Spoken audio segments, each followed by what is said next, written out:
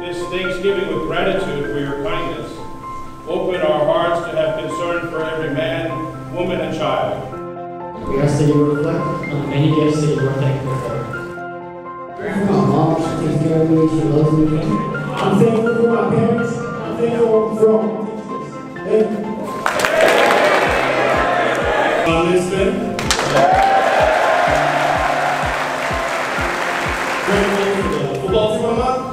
I'm grateful for Senator Rivera.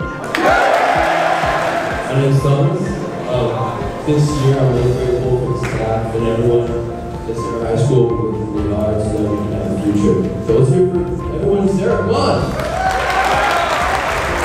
And we've gone and worked through each and every one of us to build this community. That's, that's truly amazing. As we gather all of these prayers together as one, including those only known by you in the silence of our hearts. And we offer them through Christ our Lord. Amen.